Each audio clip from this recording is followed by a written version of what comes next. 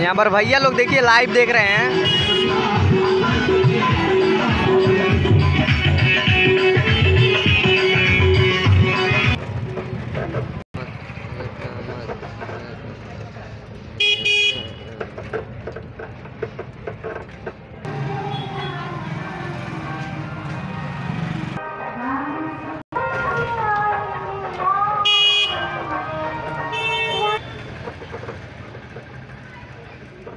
Thank